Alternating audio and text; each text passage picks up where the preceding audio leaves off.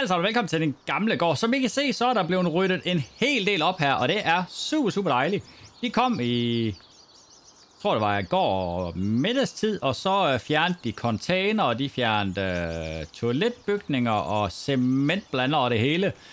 Og nu er det sådan set kun facaden, der mangler. Grunden til, at de to cementblanderen og alt det der, det er fordi, at øh, der kommer et eller andet med noget andet og laver det her. Det var ikke... Øh, det var ikke samme virksomhed, der lavede det inde i huset, som skal lave det udenpå, så... Øh, men øh, det ser super, super godt ud. Så mangler der bare lige en blomst i den der på et eller andet tidspunkt, men det er nok ikke lige tiden til at plante blomster nu, og nu er det lige øh, heller ikke blomster, jeg er allerbedst til.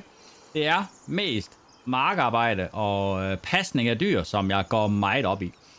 Første opgave i dag er, at øh, jeg har talt med dem op på hestestuderiet derop, og de har lovet mig, at hvis jeg mangler strøhalm, så ligger der faktisk noget op ved, hvor... Nu skal jeg lige have den der startet op. Og have vægten hævet. Der ligger strøhalm op, hvor jeg er oppe og hente øh, baller til hestene derovre. Og der ligger noget løst op, og de sagde, at jeg kunne egentlig bare tage, hvad jeg ville have. Og jeg skulle give 200 cirka for en hel skovfuld. Det er jo selvfølgelig svært lige at sige, hvor meget en hel skovfuld det er. Men jeg ved ikke, om jeg skal tage en hel skovfuld, eller om jeg bare lige skal se, om jeg kan få listet 500 liter i den her. Og så nøjes med at betale 100 for det. Det kunne egentlig godt være, at jeg gjorde det.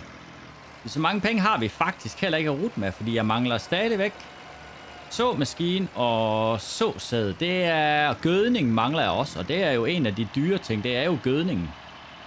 Selvfølgelig også såmaskinen er jo også ret dyr, men øh, jeg skulle gerne have råd til en såmaskine, noget såsæd, om ikke andet så er jeg nødt til at lege en såmaskine, fordi jeg vil rigtig gerne have det hele gødet ordentligt op.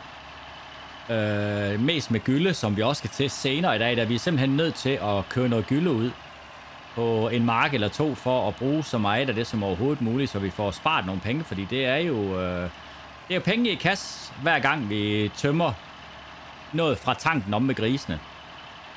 Og øh, hvor meget der ligger i den, det ved jeg ikke, men den er, det er ikke ret meget at se, at jeg rent faktisk har kørt gylde ud fra den. Så det, jeg vil ikke sige, det er u- uendeligt, det der ligger der overhovedet ikke, fordi at, øh, der er jo bund i den tank der, men må ikke, at vi kan øh, bruge, eller at vi har til det, vi skal bruge øh, her i, i foråret, så må vi se, hvor meget der ligger, når vi kommer hen til efteråret. Det kunne være rart, hvis vi heller ikke skulle bruge ret meget. Jeg kan egentlig godt lide, at det står slow der på øh, vejen. Det betyder jo langsom. Og så tænker jeg jo lidt, når jeg kører med Ferguson og skyder en fart af 23 op bakken, som om jeg havde andre muligheder. Jeg, jeg kan kun køre langsomt. Uh, nå. Uh, jeg valgte at tage den her, fordi den har ikke været ude at køre de sidste par dage, og John Deere skal vi bruge senere, så derfor uh, synes jeg lige, det var en god mulighed for lige at få startet den øh, dejlige lille Ferguson 135 op, og så lige komme ud og køre en tur med den. Det er jo lige til venstre her, og så skal vi jo til højre, når vi kommer et stykke hen ad den store vej her. Nu må vi jo lige passe på her, at der ikke kommer nogen. Det gjorde der ikke. Sådan der. Jeg drøjer hen og drejer til højre, og så kører vi op og ser, om vi ikke kan få listet 500 liter i skoven. Så må vi jo se, hvordan Ferguson den forsager de her små bakker, eller forser dem hedder det vel egentlig, eller i hvert fald trækker op af. Det går faktisk 24 i timen, det er, det er fint nok. Den burde måske have kunne køre 27, men 24 det er egentlig også fint. Kan vi ikke uh, komme den der vej igennem? Det tror jeg godt, vi kan med den her lille traktor. Skulle der gerne ligge, uh, det gør der også. Og så må vi lige prøve at se om, hvordan vi lige får... Nok svært lige at få det til at passe med en halv skovlfuld. Men hvis vi nu bare lige kører lige så stille ind, og lige at hoppe ud og kigge en gang. det kunne godt ligne en halv skovlfuld, det der. Sådan, så øh, skal vi bare se, om vi ikke kan komme ud herfra igen lige til skoven. Bagover, sådan der. Det blæser nok en lille smule af, når vi kører hjem af, men nu kører vi heldigvis ikke så stærkt. Så når jeg lige kommer hjem, så skal jeg lige huske at overføre de her 100 euro for det her halm. Det er godt nok dyrt, men øh, sådan er det jo. Nå, vi, øh, jeg tror egentlig, vi tager den samme vej hjem, som vi kom. Der er godt nok meget trafik herude nu. Det er lige nu, at der ikke lige den vej, vi skal der er trafik. Ah, det var måske også kun lige de der biler der. Nå, jeg drøjter hjem af, og så skal jeg ind og have strøget grisene med det her halm her. Det kan godt være, jeg synes, det var en god idé at få den her lille færges nu at køre. Men når der er 4 grader udenfor, så var det ikke uh, verdens bedste idé, kan jeg lige sige. Det her var ret koldt. Det er det så stadigvæk. Så det er dejligt, vi skal have fat i en anden traktor senere. Når vi, øh, jeg tror egentlig bare lige, vi starter herhenne. Så kan vi lige bakke lidt, mens vi læser af. Nu må vi lige prøve at se, om de ikke øh, sagtens selv kan få det spredt noget mere. Det tror jeg sagtens, de kan. Ries, de er jo eminent til at få sådan noget spredt. Sådan der. Og de er væk. Så kan vi godt sætte den her ind igen. Jeg lader dem bare stå med skovlen på. Nej, vi øh, er egentlig lige over at have ryddet op herover i trut, fordi det øh, der ligger lidt rigeligt, og det skal vi ikke have. Vi ser, om jeg ikke lige kan komme ned og få det gravet op på en eller anden måde.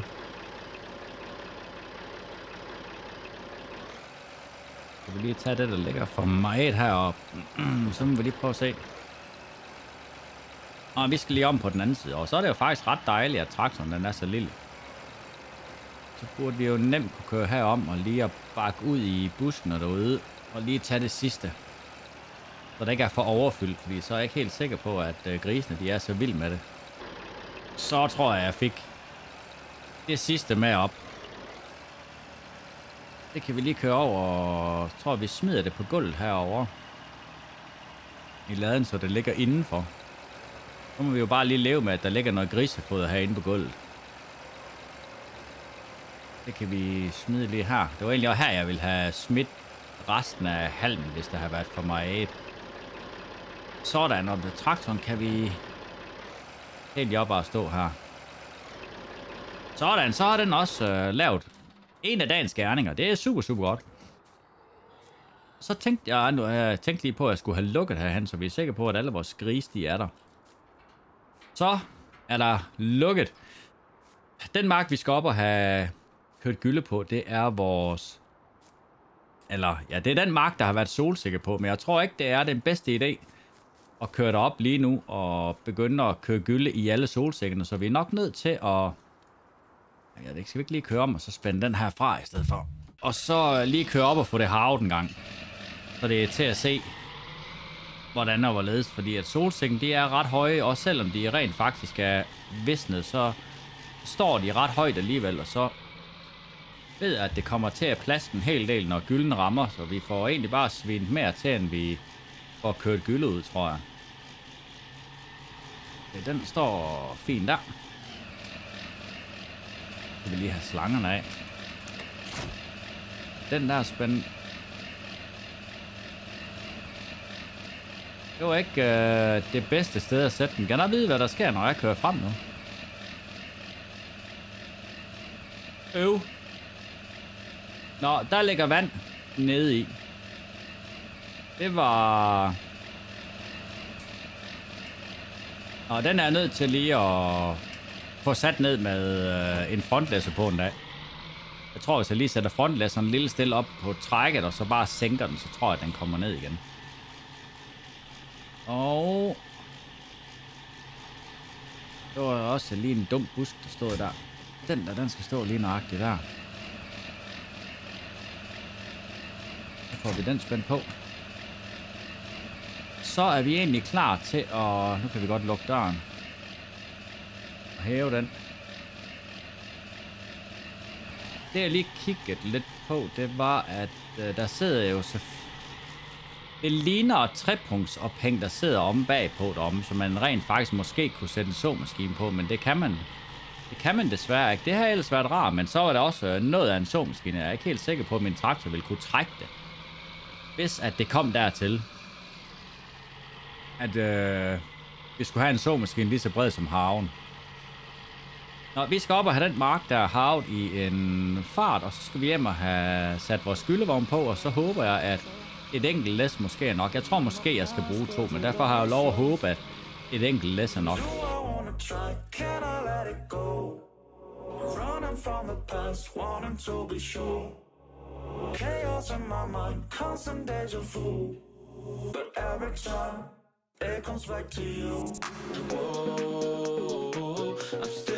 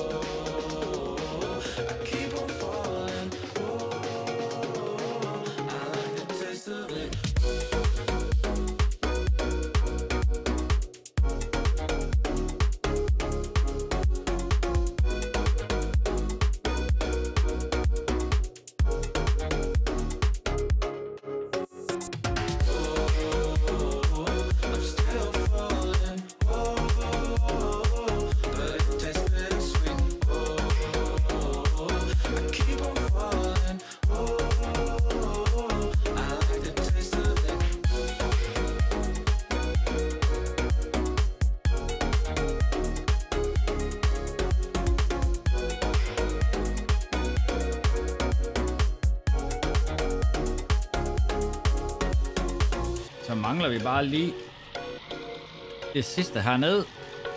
Så er vi færdige med det. Den mark her, den skal sådan set egentlig også pløjes, men øh, nu vil jeg lige have kørt gyld ud på den først.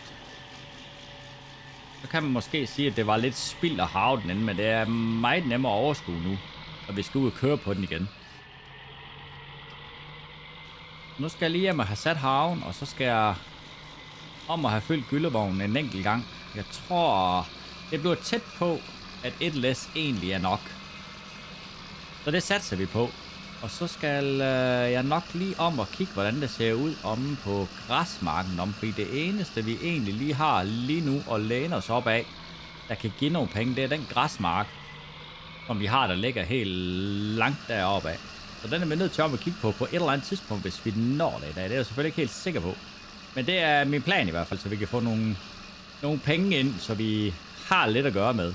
Og så skal jeg lige ud have åbent her ind til. Jeg håber ikke, at grisene de øh, stikker af, så jeg skal ud og lukke for at køre om og spænde på. Vi kan ikke håbe på, at de bliver derinde. Det øh, må vi hellere gøre.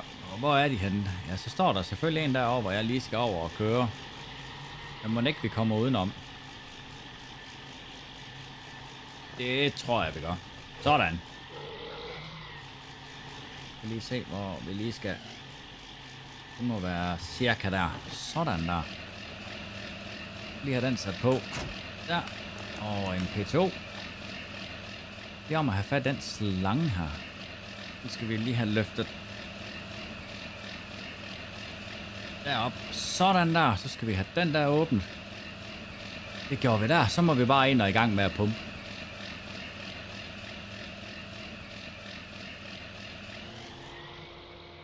Så er den faktisk allerede i gang med at fylde. Nå, jeg lader lige den øh, fylde op, og så skal vi jo selvfølgelig op og have det spredt. Det bliver super, super godt at komme endnu en gang og komme til at spare nogle penge på gødning. Så er den fuld. Så slukker vi på pumpen. Vi har den der lukket igen. Og ja,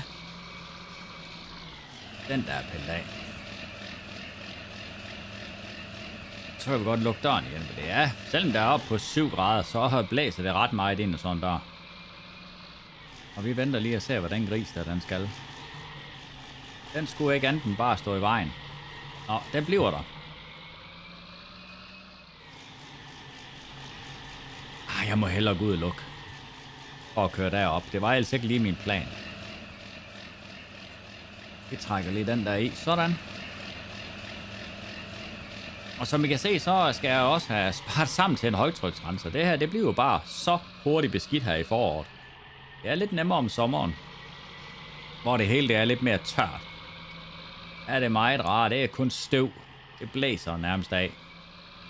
Nå, op på marken igen, og så skal vi lige i gang med at have den gødet, så starter vi herover.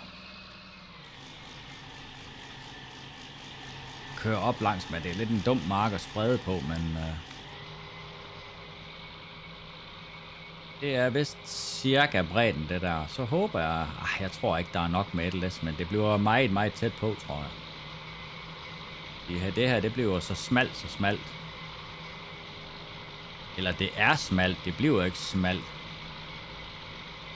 Men selvom det er små marker, så øh, skulle de gerne kunne give en øh, masse dejlige udbytte, og det er jo selvfølgelig det, vi skal have. Vi er nede på 68 procent, så et last, det slår slet ikke til, kan jeg se. Og det er der ikke så meget, der gør ved. Så kører vi bare et læs med, eller to. For at køre herover og begynde at køre op og ned, og så lader jeg være med at tage for af, for så kommer jeg til at sjask rundt i det gylde, hver gang jeg vender, og det vil jeg helst ikke. Sådan, og så hernede af. Kan vi jo lige tømme den først, og så kan jeg jo lige selv høre næste læs. Så ved jeg ikke, om vi skal i gang med at pløje den i dag, eller om jeg rent faktisk skal køre op og til græsmarken. Jeg tror, jeg kører op og kigger til græsmarken, når vi er færdige her. Jeg får også gammel bil ud at køre. Det er heller ikke så tit den, vi kører. Nu drejer jeg egentlig bare rundt hernede, fordi jeg skal helst ikke gerne herned igen. Ja, nu er det lige før, man bare skulle køre hjem og fylde. Vi kan lige se, hvor langt vi kan komme. Det kan godt være, at vi kan få det meste af den her lille tange her fjernet. Tror jeg, vi kan. Og jeg tror egentlig bare, at jeg fylder gyldevognen op. Så må den stå med rester i. Selvom der er jo ikke... Øh, formentlig ikke til et halvt læs. Sådan, så blev den tom. Så drøner jeg hjem og henter et læs, og så drøner jeg op og spreder det, og så skal vi hjem og have fat i vores gamle folkevogn. Så mangler vi kun lige en lille bitte trekant, og den tager vi lige her. Og det var heldigt, at jeg kun kørte hjem og hentet et halvt læs, fordi så har jeg faktisk overhovedet ikke haft nok. Det har været øh, rigtig dumt holde og mangle 10%. Når ned ad den lange vej igen, hvis det nu har været vores mark, den der lå lige foran os for det første, så har vi haft rigtig meget græs, og for den så går jeg bare kørt lige over. Der er ret meget drejen rundt her, men det er heldigt, at den er så jævn, vejen, fordi så kan jeg jo simpelthen bare give noget gas. Ikke lige 53 i timen, er måske også lige rigeligt ned ad en markvej, men så længe den er så jævn som den er, så øh, går tingene faktisk rigtig, rigtig godt. Så er der lige med, øh, hvis man bare kan følge med til at dreje, så øh, ser det ikke helt skidt ud. Og den kører jeg hjem og sætter ind til grisen igen. Og så øh, sætter jeg John Deeren. Jeg tror, de bare sætter den ind, men vi skal måske have spændt en plov på. Vi kan selvfølgelig bare lade den stå med gyldevogn. Øh, fordi så er der jo nok en mark, vi kan... Ja, der er jo faktisk tre marker mere, der skal have gylde. Og vi kan sætte den lige her. Sådan. Og sluk. Og det der, hvad den der vandvogn dernede, det var, det var lidt dumt. Nå, vi nupper den her gamle folkevogn. Og får den startet op. Den starter jo faktisk fint. Det havde jeg egentlig også regnet med, men... Den har stået i lang tid, uden den blev brugt, og nu skal vi jo bruge den. Jeg kunne selvfølgelig bare have taget en traktor derop. Men... Vi skal ud og have brugt vores gamle bil. Den kunne jeg godt tænke mig at få en trailer til. Bare sådan en lille bitte autotrailer.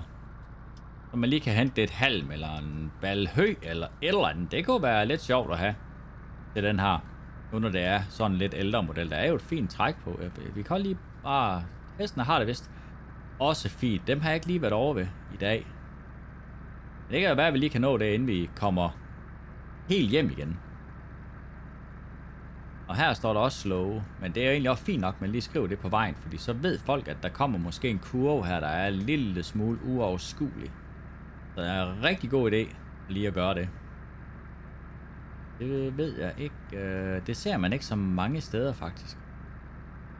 Det der en, det ligner nærmest en skråthandel. Og det ved jeg ikke lige, hvad det var til. Det er sådan set også lige meget. Jeg drøner op og ser, om jeg kan finde marken deroppe, og så må vi lige prøve at ind og gå og se, om græsset der overhovedet er begyndt at gro, eller hvad det er. Så er deroppe lige efter den her hvide bygning, vi skal ind til højre. Og der er ikke noget med, at der var en låge, som jeg ikke lukkede. Den er lukket nu. Hvor der er mystisk. Nå, der må være nogen, der render og lukker lågerne. Lidt dumt, men... Wow.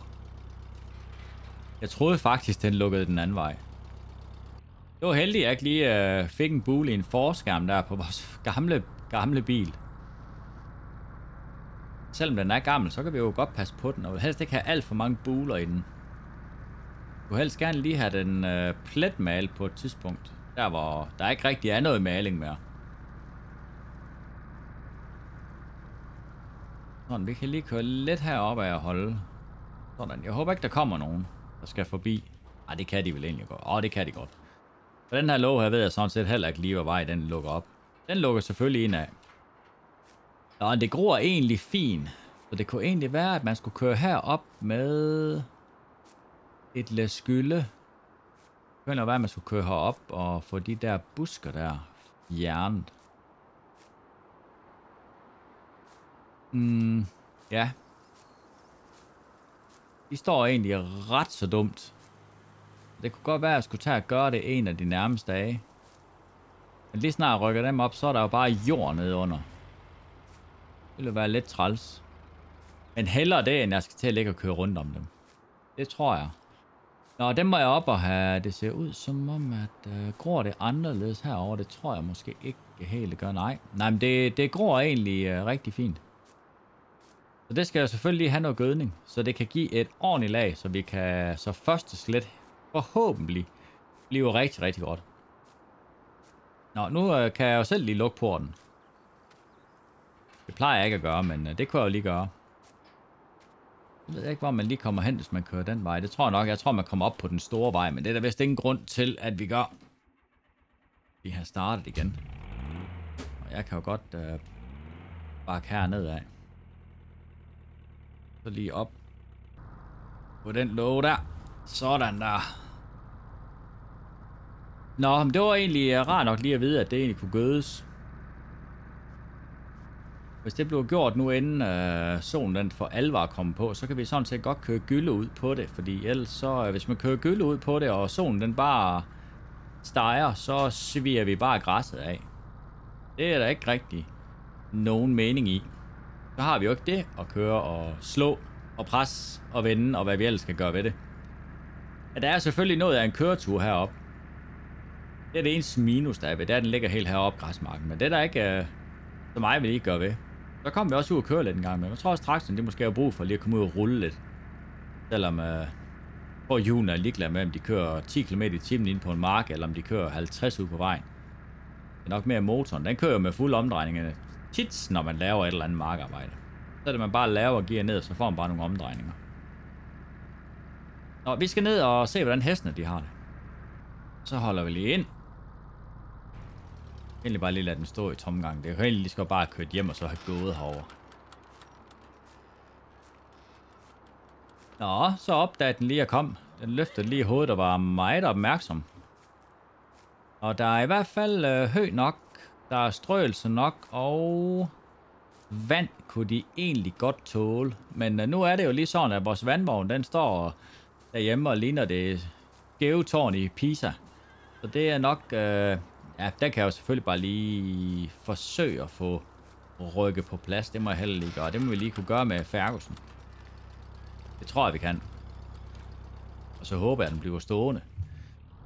At den ikke tipper op igen, ellers så er jeg nok nødt til at skubbe lidt med den, så den står en lille smule mere plan.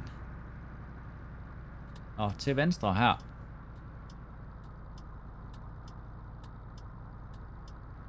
Og når der ingen kommer, så kører vi selvfølgelig. Nu kunne jeg jo selvfølgelig køre ned til huset og sætte bilen, men øh, jeg synes faktisk, den står bedre i et skur heroppe. Så lige at det her skur her, eller en af de andre, det kan egentlig være ligegyldigt. Sådan, så får vi lige den slukket. Så skal jeg eksperimentere med at få den øh, vandvogn på plads igen. Det var lidt træls. Det var ikke øh, min plan, at jeg skulle råde med det nu. Jeg ville egentlig helst lige have sat øh, ploven på John Deere, så den var klar. Hvis jeg ikke vurderer, at jeg lige kører noget gylde her en af de nærmeste dage. Det var min plan egentlig, at hvis jeg kunne køre ind og så lige tippe den ned der, så kan jeg lige prøve at lige køre lidt længere ind. Prøve at skubbe den ned. Nå, jeg fik den øh, om at stå igen. Øh, jeg kunne ikke øh, trykke ned herom, så jeg kørte om, og så gravede den ned under, og så fik jeg den egentlig tippet op på plads, og øh, da den så kom et stykke op, så kom den lige så stille ned. Jeg ved ikke om... Jeg bare skulle prøve, og jeg kan ikke spænde den her på. Jeg har jo en stor klods bagpå. Og må ikke den bliver der? Kan jeg bare lige sætte klodsen af et eller andet sted? Og så simpelthen sætte den her på, fordi den, så kan vi egentlig bare fodre hestene med den. Det er jo egentlig fuldstændig ligegyldigt.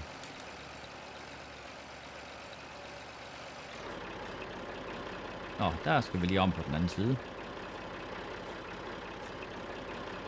Selvom jeg ved godt, at den er måske lige lille nok til opgaven. Men det kunne være rart, hvis vi kunne bruge den bare lige herhjemme på gården til at ligge og køre lidt rundt med for eksempel at strø grisene med halm og give vand og hvad vi ellers lige har. Og lad være med at fylde den alt for meget.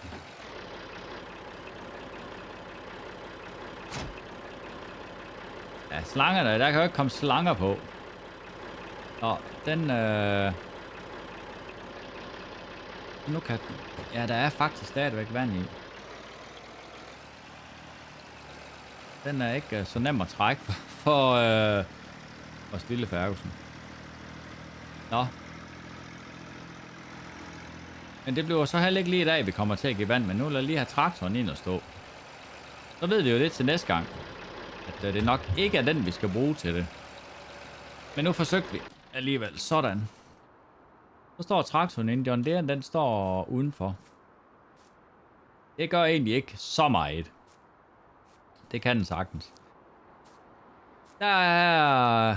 Alle opgaver i dag er lavet. Så det er super, super dejligt. Og øh, vi fik gødet mark, og vi fik havet. Nu ikke lige planen, jeg skulle have en havet, men jeg tænkte, det var måske det bedste. Og så har vi fået ryddet op hernede. Så nu mangler vi bare, at de kommer og laver facaden færdig for at fjerne deres stilas, og så hegnet her rundt om. Så kan jeg måske begynde på et eller andet med noget... På et tidspunkt med noget blomster, eller hvad jeg nu kan finde på herom, for lige at gøre det lidt pænere. Men det var det, vi nåede for i dag. Og med det vil jeg selvfølgelig sige tusind tak, fordi I så med. Tusind tak for i dag.